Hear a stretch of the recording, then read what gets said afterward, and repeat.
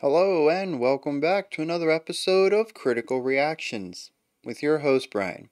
We're going to continue on with this week's theme of gibberish band names, looking at a band that I don't actually know is gibberish. We're looking at Blut aus Nord, which translates to blood from north, which is not a particularly clean sentence, but is kind of clear in its intention, and it could just be a translational thing where there's no article. No, we could just call it Northern Blood, I think would probably be a, a looser translation. But, uh, yeah, I don't know that it's exactly gibberish, but it's what we're doing today. We're going to be check out, we're, we're going to be checking out a track off of their 2022 album, Disharmonium Undreamable Abysses. This is track 5 from that album, That Cannot Be Dreamed.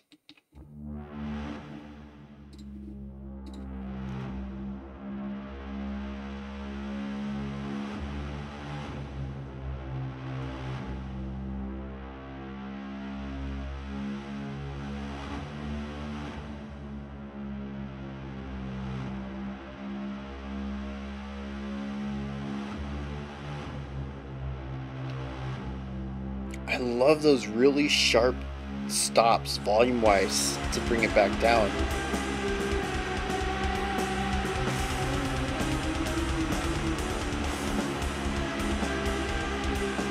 Really funky drumming.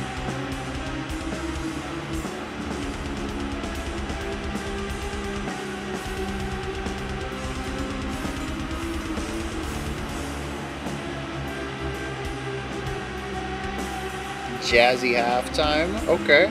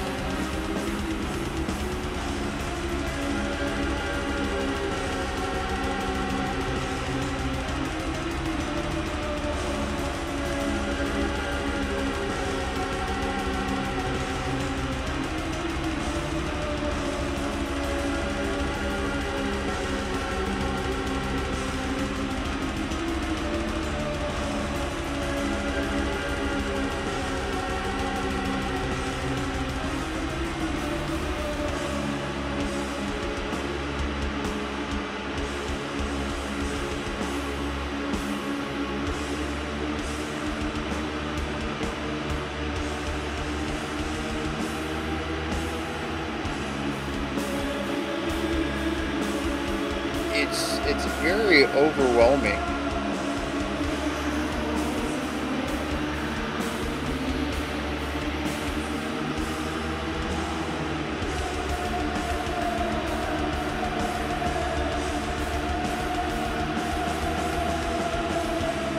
Those microtonal increases in range or in pitch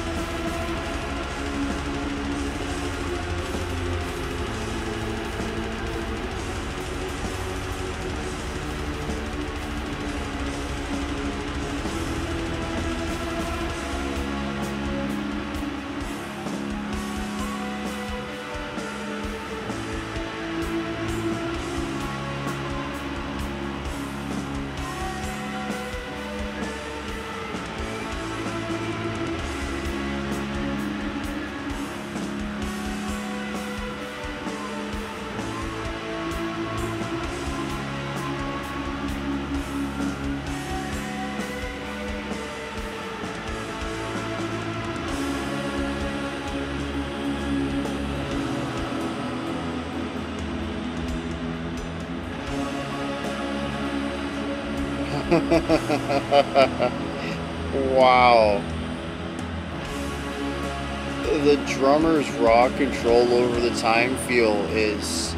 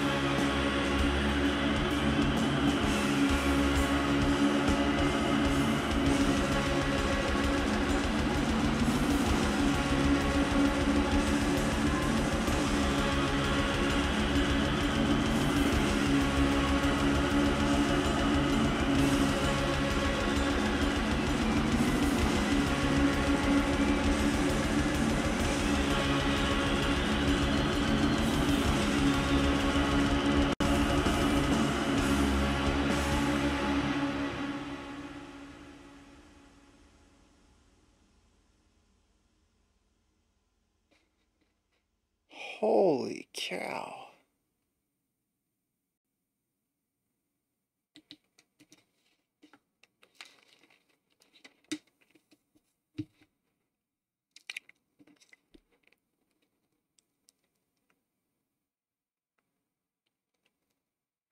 So this is cool. Because this is black metal without guitars or traditional guitar tones, I suppose we can roll with. They might be guitars for all I know, lots of bending, but it could it could happen. Bendings and slides, uh, maybe even fretless, I would say. Anyways, the idea here is that it just doesn't sound like guitars, but it does sound like black metal, and I associate a lot of black metal with the guitars, and it's really cool for me to find a way to separate them through this track. Um, but there's also something about this that is very not blackened and, and doom. Could we classify this as doom as well? This is uh, honestly kind of bizarre. It's it's they made metal with drums and a synthesizer, which at, at least what I'm hearing. Again, they, they could be guitars doing these lines. There there could be vocals in here kind of some places. I I don't really know. Uh, definitively I hear electronic-esque sounds and drums and that's not typically instrumentation I associate with metal, but this is gloomy and heavy like metal. Um,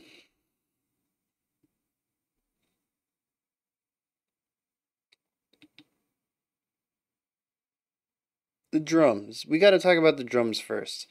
They are this drummer's phenomenal. Uh, there's tons of groovy swing ideas in here. Uh, for those who don't know, straight eights have the same weight to all of them. So if our beat is one, two, three, four, our eighth notes are boom, boom, boom, boom, boom, boom, boom, boom. It's every, it's every half of a beat. Swing, we give a little bit more emphasis to one of them, which kind of gives it, well, as soon as you hear it, you'll immediately know, you'll be, oh, it sounds like jazz music.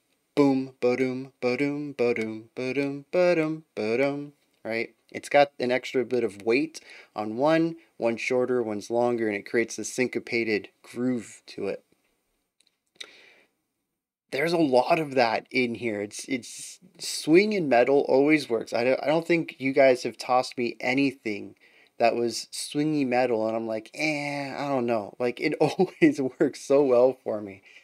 Um and to hear it in a different setting because the thing about jazz drumming is that it's very almost effortless and minimal in a lot of ways it's going about primarily to dig into the now there's faster jazzes uh, you know, bebop is going to use jazz drums very differently than swing or big band. But when you think of jazz music, presumably many of the classics, the jazz standards, you're going to look at some very subdued drum work. Metal is the opposite. Metal is big, it's bombastic, it's loud. Drummers play a lot of stuff in in metal. Um, so it's really cool to hear this swing groove played in such an expressive that's not quite jazz, jazz drumming is expressive too it's just expressive in a different capacity in such an explosive style. And not only is it explosive uh, volume wise right the drums are very loud or that there's a lot of different types of drums there's i swear there's like five toms and like 10 cymbals on this kit there's so much sonic variety in the, the sounds that our drummer has access to and utilizes. Um, but there's also just a lot of uh, creative ideas in this drumming as well. Um, you know, when to shift to toms, when to do a roll, when to do, uh, what is that?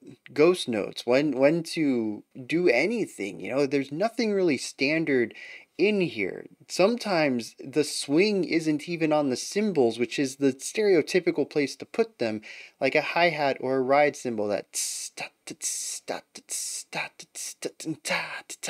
right? It's just very graceful cymbal work. But this dude swings his bass kicks and the way that his bass kicks work off of his snare. Like there's a swing syncopation between the snare and bass kick and that relationship rhythmically, and just like who does that?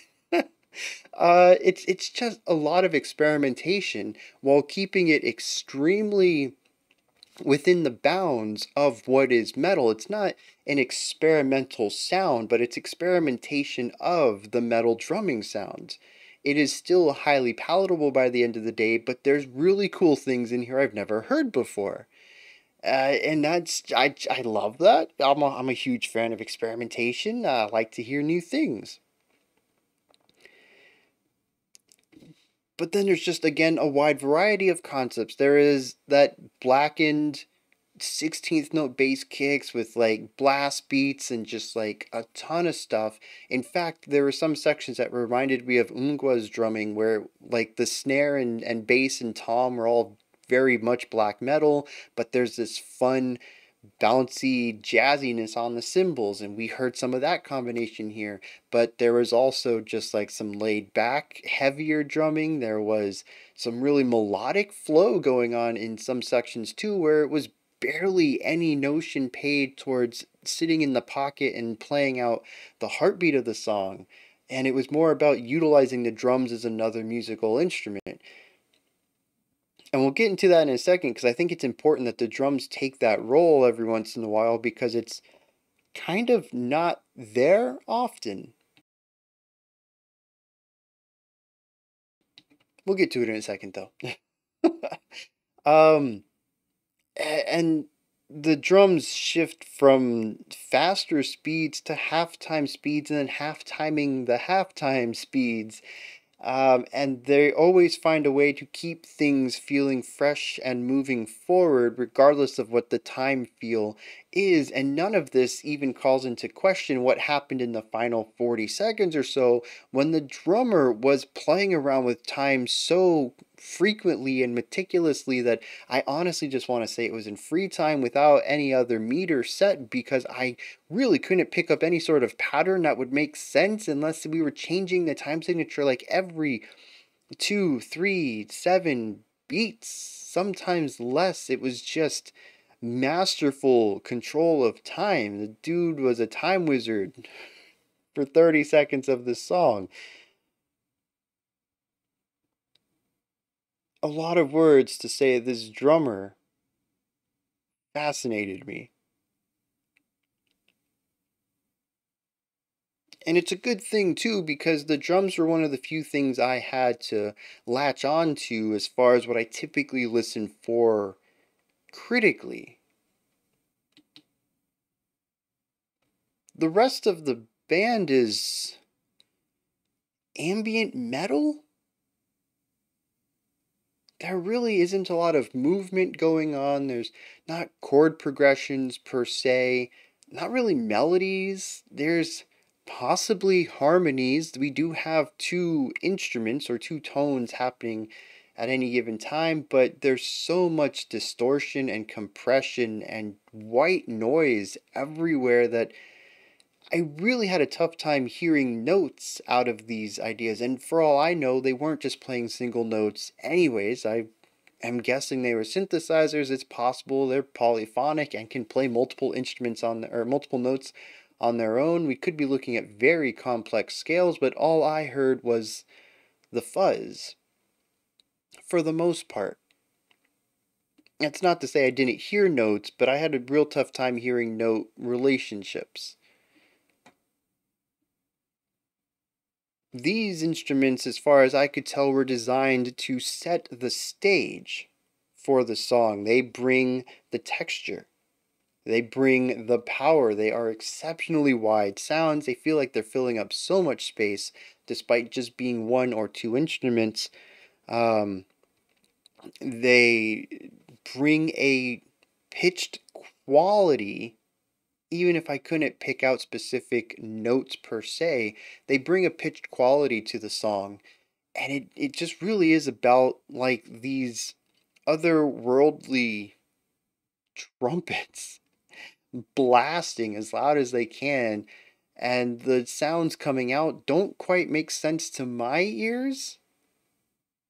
Not to mention the fact that, as far as I could tell, it's a lot of microtonality. I think synthesizers, because it's really easy to hold a note out and then use a pitch wheel to make it higher or lower, to slowly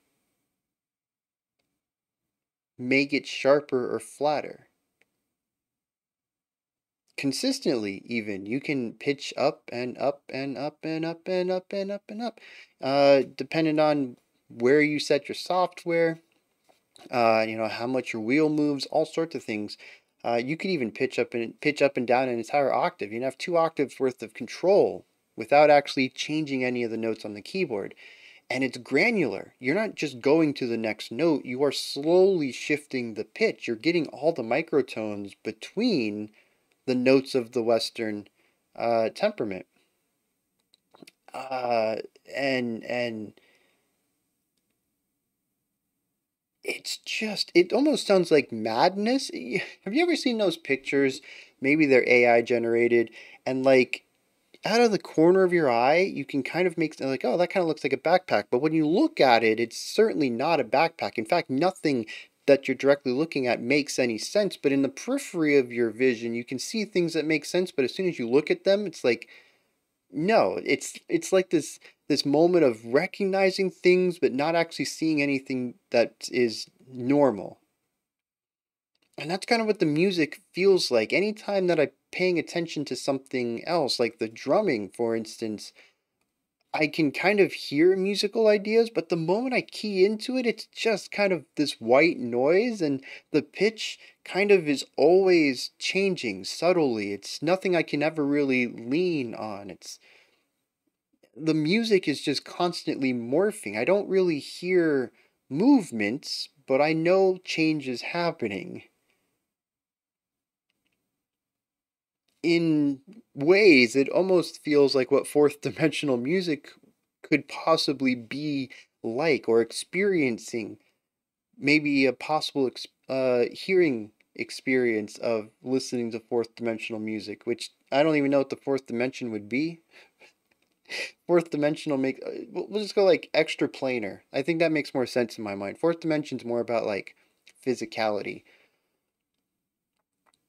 But yeah, just like a different element of, of like like music from another plane of existence where like there's elements that I'm like oh you know that's that's musical but uh, it just sounds so bizarre. I can't make heads or tails of what these instruments are doing.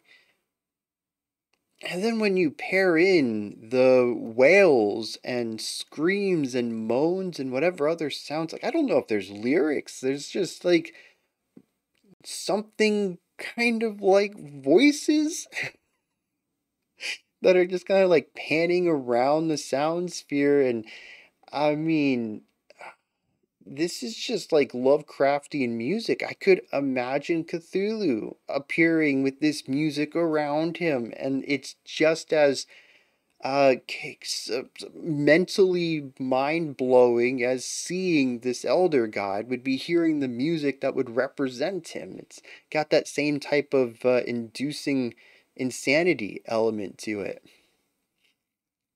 It's phenomenal on so many levels. I, I, I really hope that that that my excitement is coming across that even though I don't understand what's going on here, I kind of I know how it was produced, but I, I really have a hard time understanding the music itself.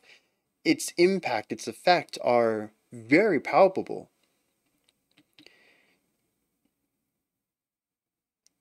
This isn't experimental or avant garde where it's just kind of weird and strange and maybe I don't know how they even made it and, and stuff like that and it's just kind of odd. No, this this is odd and strange but effective. The atmosphere they create with this is understandable. It almost feels I don't know. Well, I mean, the, the album art's not helping either. I mean, did you guys see this? what e- what even is this? Uh, I I don't know. This looks like it would fit in with Lovecraft stuff anyways. There's two moons even and trees that bend. Uh, reality's being distorted by this fleshy creature with tentacles and uh sacks of some sort. I kind of thought eggs at one point, but I mean just pus sacks it's kind of like a gross thing to say, but I mean, yeah, the the album art is not helping my not helping me get away from the idea of just hellish music, but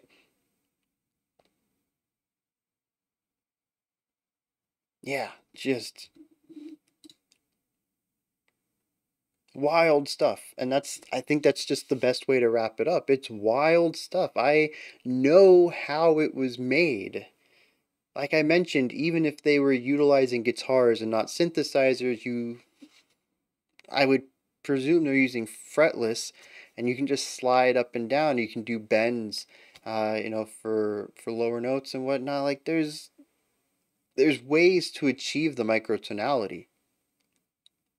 It's not necessarily the instruments that make this what it is. It's how they're used. It's it's the bending of the composition to become ambient metal where time is is barely even a thing in places I mean, the song is called That Cannot Be Dreamed. It makes perfect sense for this to be some sort of, again, Lovecraftian elder god, which by definition cannot be described. That simply seeing it causes someone to uh, lose their sanity this sound is supposed to be describing something that is undreamable and the music really bends into that or leans into that bends into that. It leans into that perfectly. It is music that i hear and kind of get but i don't understand but it's still palpable. It's still something felt but it's not it's always on the periphery. The moment you look at it it's not music but if you just let it be it's a very palpable feeling I don't know if there are lyrics to this. I looked and couldn't find any. Uh, the one site that has the song listed is uh, genius.com and it says that it won't have the lyrics until the song is released and uh, the, song was released like six months ago so i don't know what's going on there i don't even know if there are lyrics so like i said to me i just heard like wailing and screams and stuff maybe they were words but honestly, I don't think knowing the words would change anything, and I kind of hope there aren't any, or simultaneously that they never release them if there are. The ambiguity of that sits perfectly fine with the ambiguity of the melodic and harmonic choices in here. The temporal choices. The song to me is not supposed to be understood. It's not supposed to be in any rules that would help grasp the nature of it. To me, that goes against the song. Those are my thoughts on Blut aus Nords that cannot be dreamed. What did you think of this, though? Did you enjoy it? Got anything you'd like to add to what I said? Maybe. You got some stuff to correct me on. I'm sure that there's a lot of stuff in here that I was kind of guessing at uh, in the creation process. You want to correct me on that? Please let me know. Hit me up in the comments with any of that. Above the comment section is a description box, and in there is a link for Linktree. Takes you to this menu right here, has links for everything related to the channel, including multiple ways to support the channel, a link to the Discord community, and a link to the music I make, as well as so much more. There's like, I don't know, 20 links in there. Go check it out. Above that, if you could, like, subscribe, and ring the bell. I greatly appreciate all three. All right, we have a uh, special selection coming up next. Otherwise, I'll be back tomorrow, 5 p.m. Eastern Standard Time, 10 p.m. UTC as usual. We're going to wrap up this week. Until next time, remember to be critical, not cynical, of the music you listen to, and have a fantastic morning, afternoon, or evening whenever you choose to watch my videos.